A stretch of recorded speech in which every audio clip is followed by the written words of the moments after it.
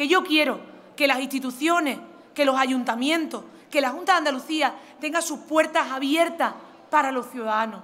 que no es igual que los ciudadanos lo sientan suyo como que no lo sientan.